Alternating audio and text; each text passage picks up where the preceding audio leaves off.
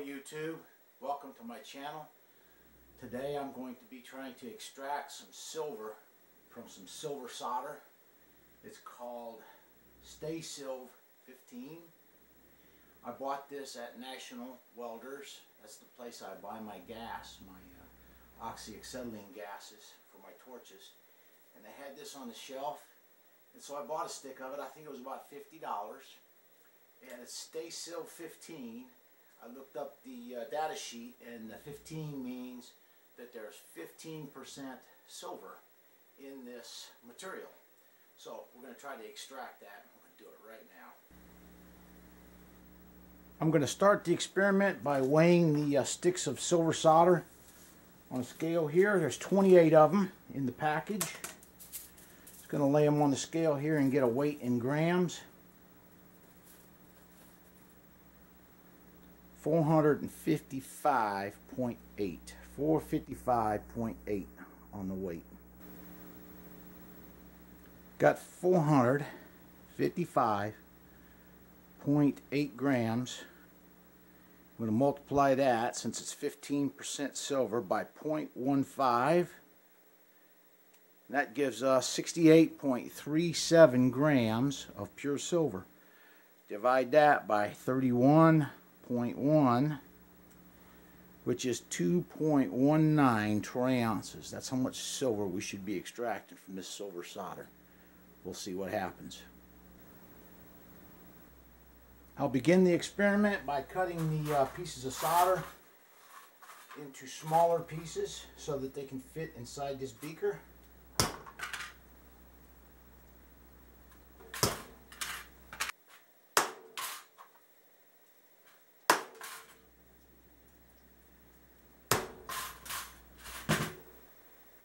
As I was cutting, I noticed that the uh, each stick is marked multiple times. It says Harris 15. I'll be working in a fume hood here to vent the gases away from me as I work. Go ahead and turn that on. I've got the silver solder in a two liter beaker here with a cover on it. I'm going to add some distilled water to it, about 500 ml.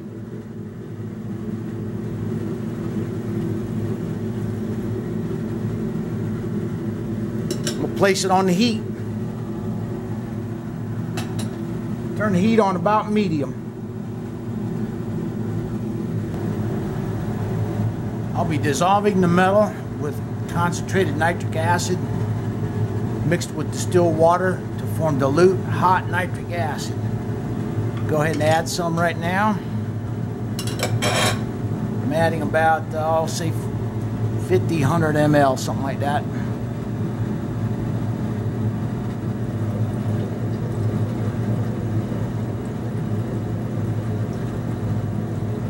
About 100 ml there. Go ahead and cover it up and we'll see what happens here.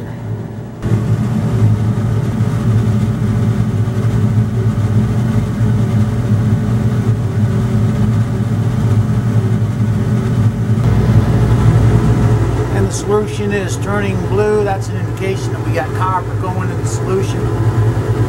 Dilute nitric, hot dilute nitric will dissolve the copper and the silver. It should dissolve everything in this uh, this silver solder brazing rod. It should get everything to go into solution, and then we'll pull the silver out of it. Sticks of silver solder have been on uh, the heat now with a little dilute nitric acid boiling for about 30 minutes. I'm going to go ahead and add some more uh, nitric acid here. Got to add it slowly because this solution's hot.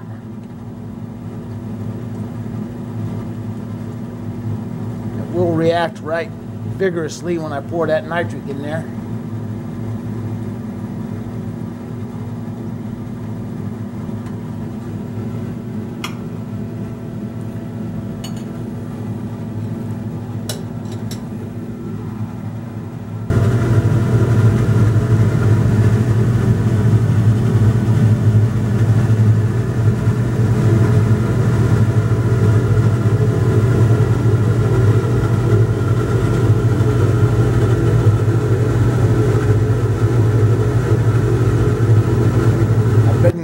Requests for a thermometer or uh, temperature readings on my experiments. So uh, hit it with the digital thermometer there. You can see it's 157 degrees inside there.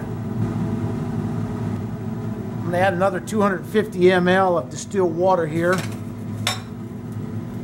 so that the metal has some place to go as it dissolves.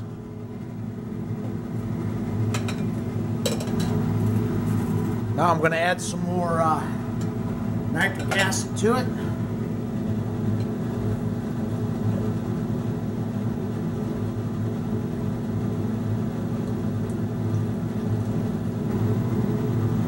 I'm going to go ahead and add the rest of the nitric acid.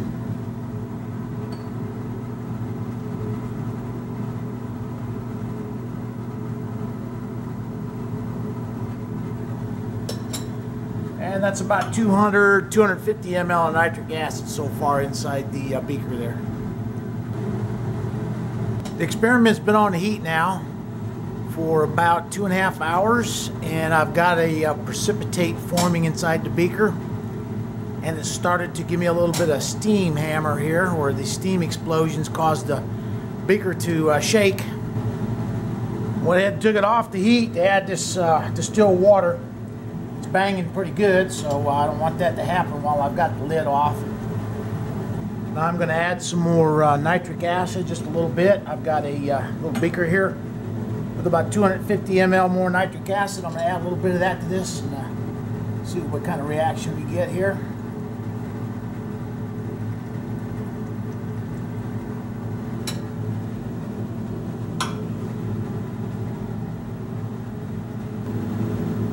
I've turned the heat down to low.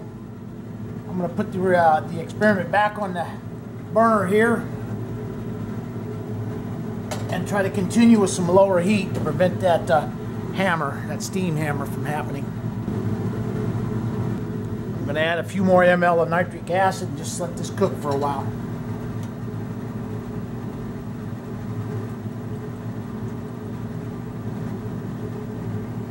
Probably another 50 ml of nitric there.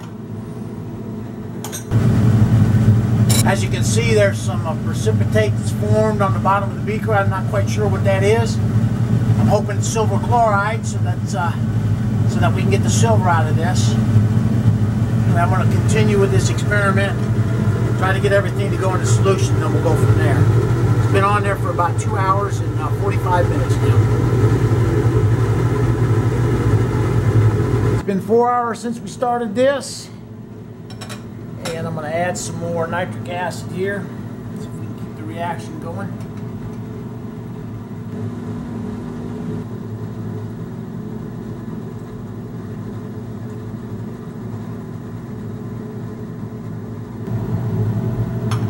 All right, we've been on the heat now for a little over five hours. I thought this was going to be a quick and easy one but it's turning out to be a little bit more than I suspected. Uh, this is another 200 ml of uh, nitric acid that I'm adding here.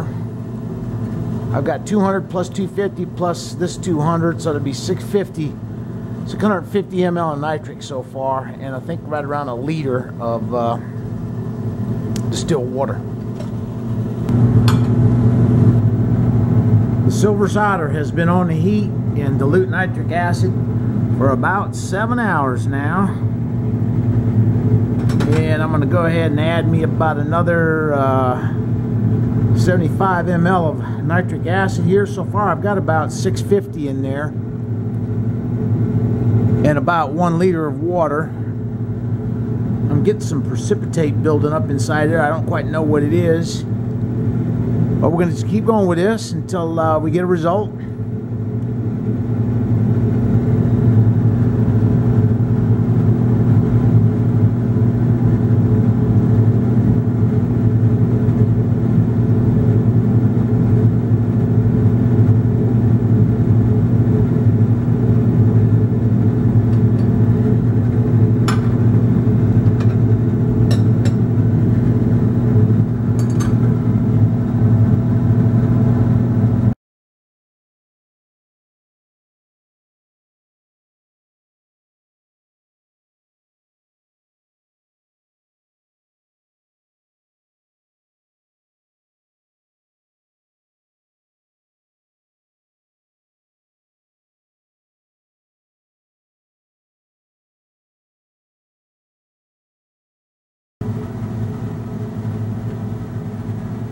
Experiment has been on low heat for the last 12 hours. It is almost 24 hours later uh, since I started the experiment.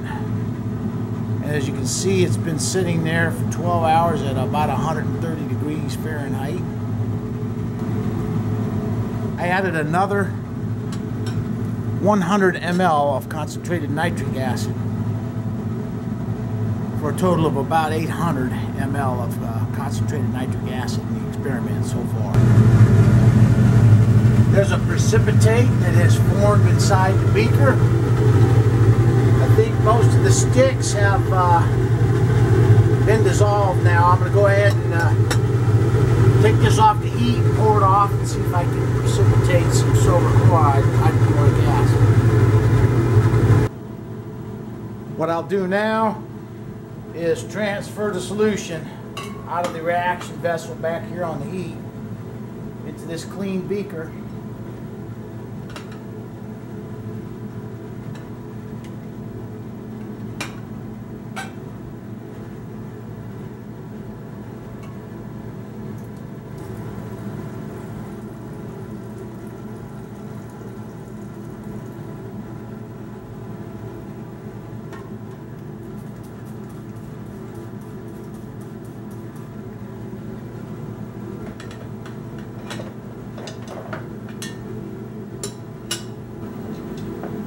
Now I'm going to put the experiment back on heat and uh, add some distilled water and continue trying to get everything to go into solution here.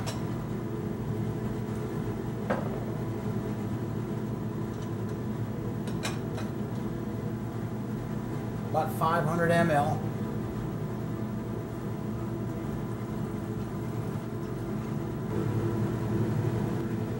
Got about 100 ml of concentrated nitric acid here. I'm gonna add that to the beaker.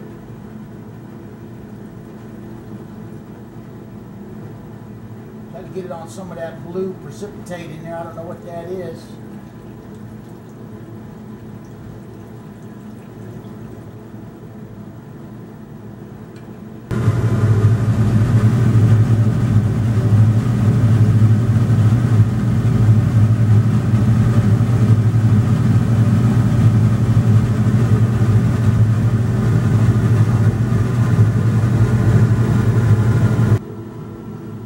stir up.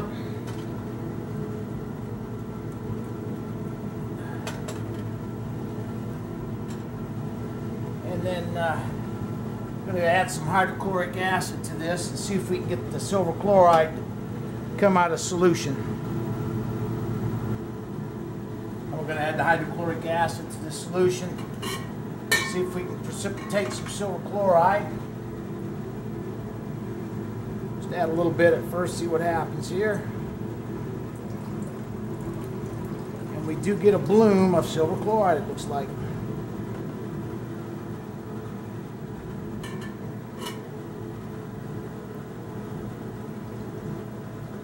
Some kind of precipitate.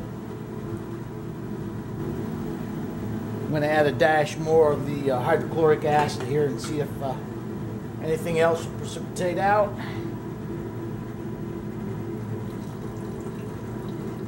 Really look like it.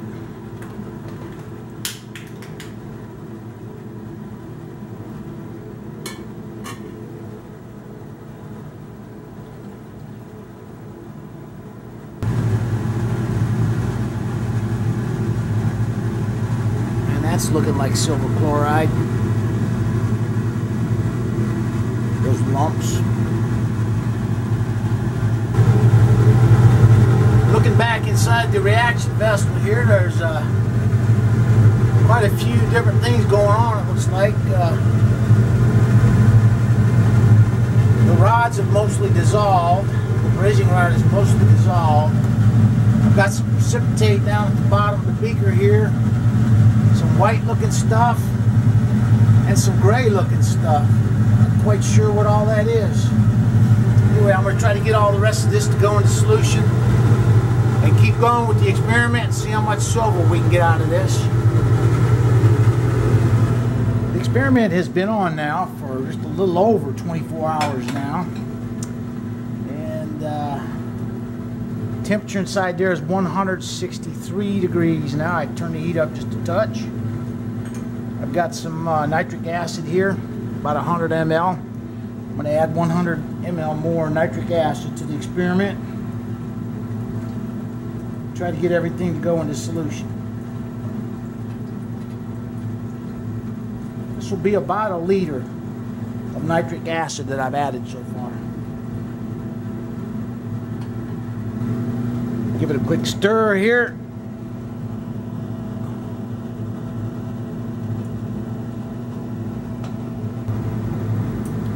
It's been 36 hours since I've started the experiment here. Had this thing on heat the whole time. Temperature in there is 170 degrees Fahrenheit. And uh, if you notice, everything, all I've got is little sticks of uh, precipitate left. I think all the metal's gone into solution just about. Yeah, there's still a little bit of metal left there. It's kind of crumbling though. Breaking apart. I don't know if that's metal or if it's some other kind of substance in there. Anyway, we're going to go ahead and uh, pour this off and try to precipitate the silver chloride out of this solution and continue on. Okay, we're going to go ahead and pour this into our uh, into our large beaker here and uh, see if we can get some silver chloride formed.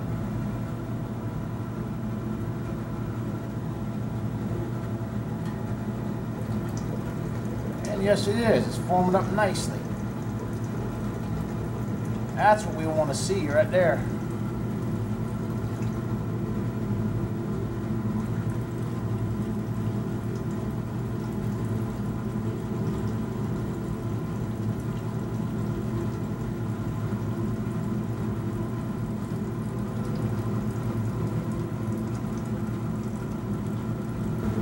Just a quick stir here.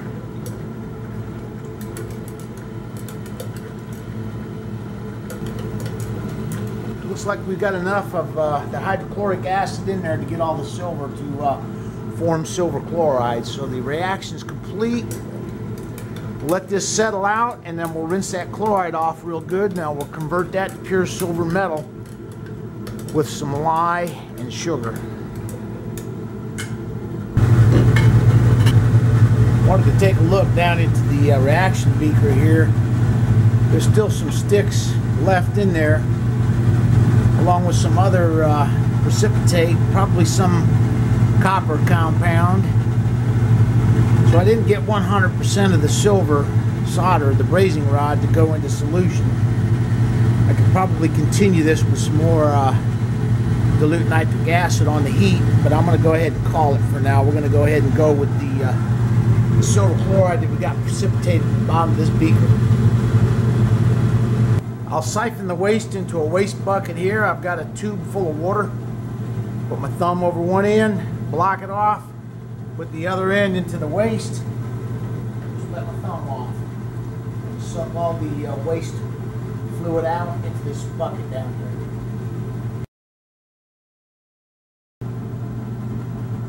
Got some hot tap water here. We'll rinse the silver chloride off with some hot tap water.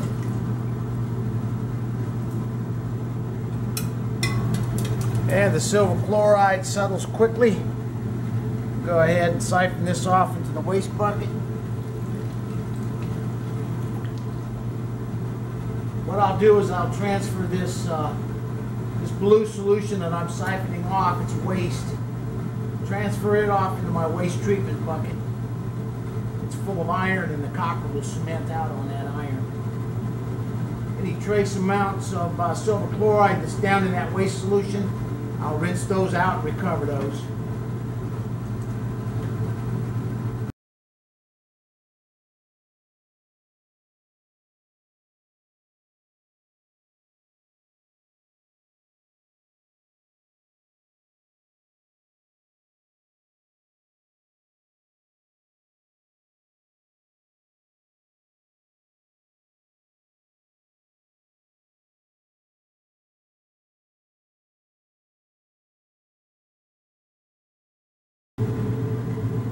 This is the silver chloride that I recovered from the uh, silver brazing rod. I'm going to transfer it to a tall beaker here so we can convert it to uh, pure silver metal with lye and sugar.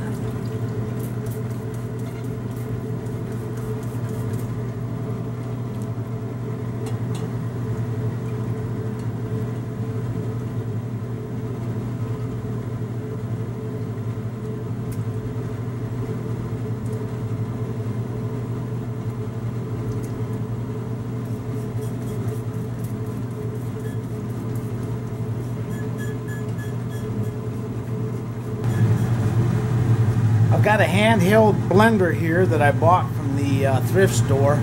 It's got a little blade on the end of it. I'm going to try to use that to uh, do the conversion here. I got some sodium hydroxide here. I'm going to add about, uh, I'm not going to measure anything, I'm just going to dump some in. And we're going to try to convert the, uh, the silver chloride to a black colored silver oxide. And you can see down at the bottom there, it's already starting to turn black. Here we go with the blender and see how this is going to work. It's the first time I've ever done this, so we'll just have to see how it works.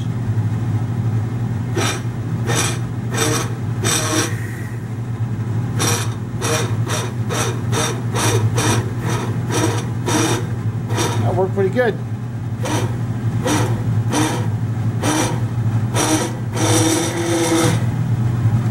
stirring it around down in there, I don't see a whole lot of white silver chloride left.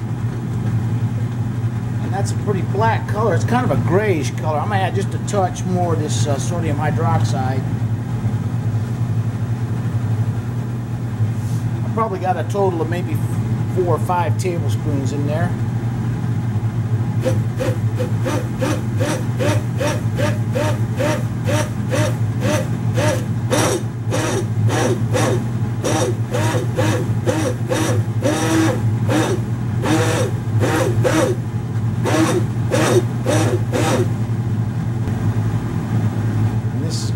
exothermic reaction. It's going to heat up pretty good there. You see it's 173 degrees. I'm to rinse it off with some water here. You don't have to use distilled water. Tap water is okay.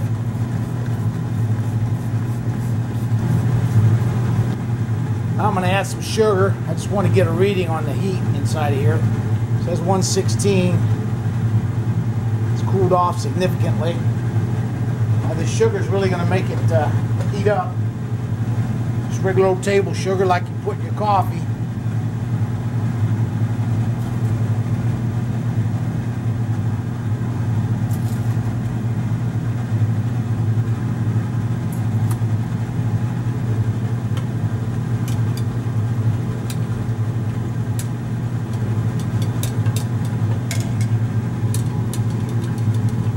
see it turning down there. It's coating the inside of the beaker with uh, silver.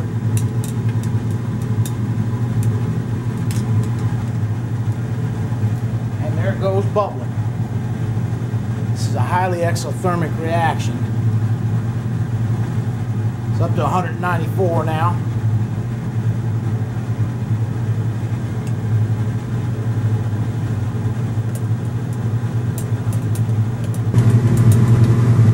Clearly see the uh, silver down here. It's a silver, it's gray powder the bottom of the beaker.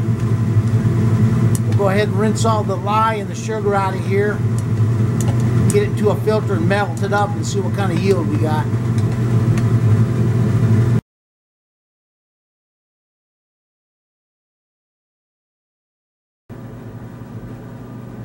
I've allowed the uh, silver to settle overnight and now what I'm going to do is uh, go ahead and start rinsing the silver out. Before I do that though, what I want to do is take care of this waste. What I'm going to do is take these pieces of metal, this is iron here, and I'm going to put them in my waste treatment bucket. And then we're going to put the waste down inside here so that it can be processed for proper disposal. This is just copper in solution. When I pour it in that bucket, the copper will cement out onto the iron forming copper metal, and the iron will go into solution.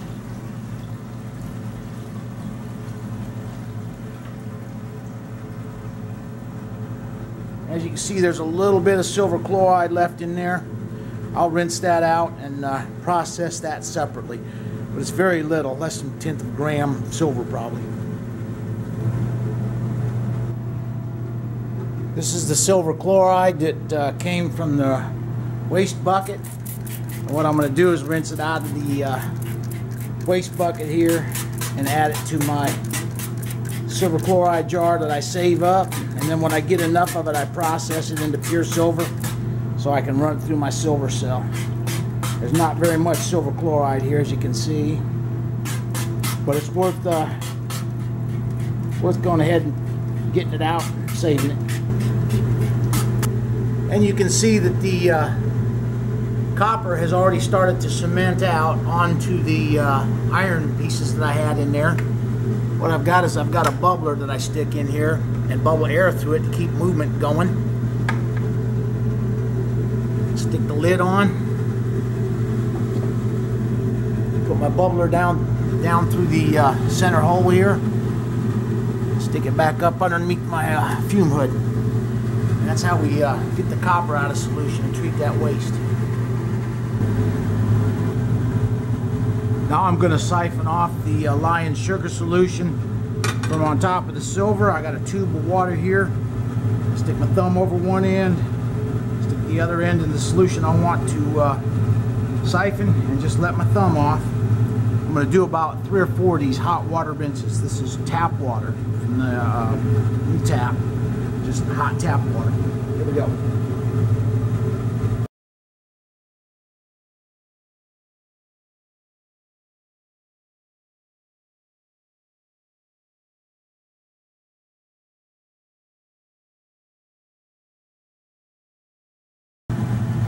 What we're trying to do is rinse all that lye off of the uh, silver before we try to melt it. And as you can see, the rinse water down there is uh, very high in pH. Looks like it's up around 14, highly alkaline. And then what we'll do here is take another reading on our uh, rinsed silver jar here. See how well we rinsed it out. And that's going to be down around between 8 and 9. So we're getting there. I'm going to siphon the water off of this uh, silver now and we'll go ahead and get it into a filter and see if we can get it melted.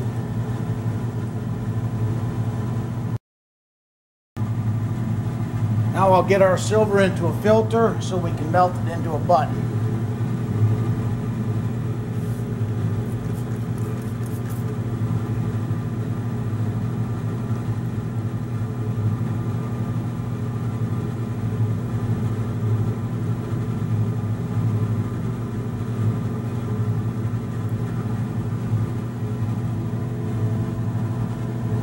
What the cement silver looks like. It's pure silver metal powder.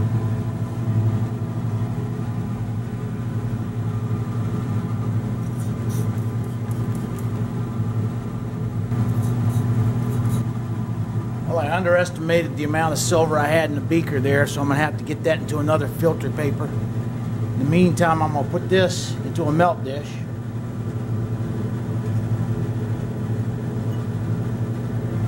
And I'll to run another filter paper for the rest of the silver.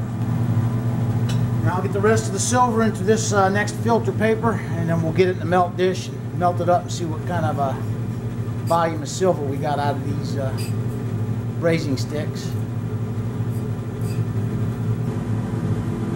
Okay, I've got the rest of the silver in the funnel here in a filter paper. I'm going to go ahead and add it to this uh, first batch here into the melt dish. We'll put some fire on it melt it up into a button and see what we got. Before I start to melt, I just wanted to review here. This is the waste bucket. A little bit of the silver got carried over during those rinses. I'll let that settle out, siphon off the waste, and I'll recover a little bit of silver in there. Be tenths only, not very much, but enough to recover. Then up here, we've got this uh, residual amount that was left over when we tried to dissolve everything. I elected to quit going with that because it was using up an excessive amount of nitric acid. And then I also had the silver chloride from the uh, silver chloride rinses that I recovered into the other beaker there. So those are going to affect our yield, those three things. Go ahead and get the melt started now.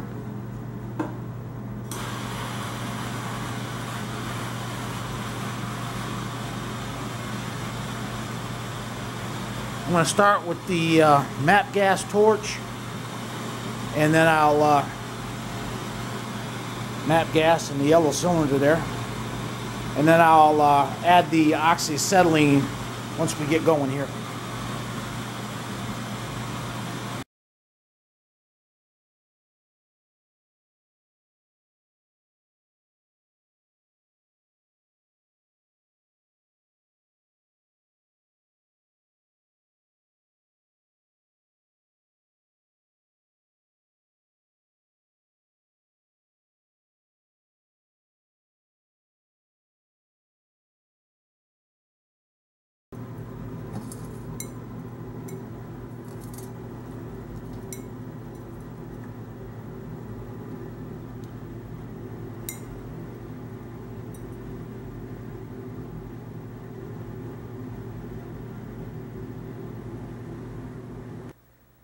I've got the button here sitting on low heat.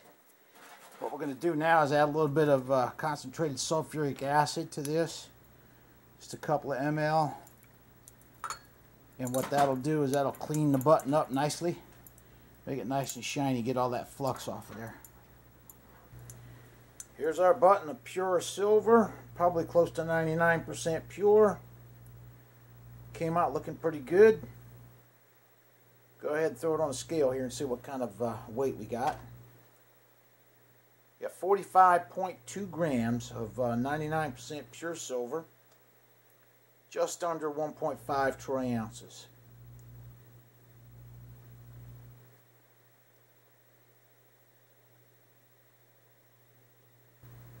Well, that was definitely a little more challenging than I expected. I expected to have that thing done in one day. Uh, as you can see in the video, it took a liter of nitric acid to get all that metal to go in solution. The yield was uh, 45 grams. I was expecting, what, 63 grams, I think we calculated. Expecting just over 2 troy ounces and yielded just under 1.5 troy ounces. But we did get the silver out. keep in mind now, I was not trying to uh, profit, make a profit from finding this silver what I'm trying to do here is show the process of how the silver can be extracted out of that brazing rod. And I think I did a pretty good job of that. So this will conclude the extraction of the silver from the silver brazing rod. Hope you learned something. Uh, I check my comments every day. So if you have any questions or comments that you'd like to leave, leave those uh, for the video and I'll uh, try to answer the questions the best that I can. Thanks for watching.